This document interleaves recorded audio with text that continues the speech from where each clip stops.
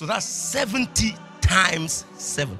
That means if God gives you this age, seven, seven times your lifespan, from beginning to the end of it, you will forgive. It's not 70 times seven, you get 400. No, that's not what. Now, to make it clearer to them, he now came to the book of Luke. He said, I say to you, if your brother sins against you seven times and comes back seven times in one day, some of you will say, You the wine me, ne? You the wine me. Can you do that? You seven times. Somebody came seven times, did the same thing.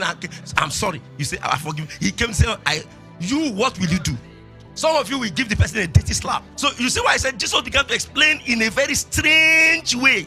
What he's saying is that mercy has no limit.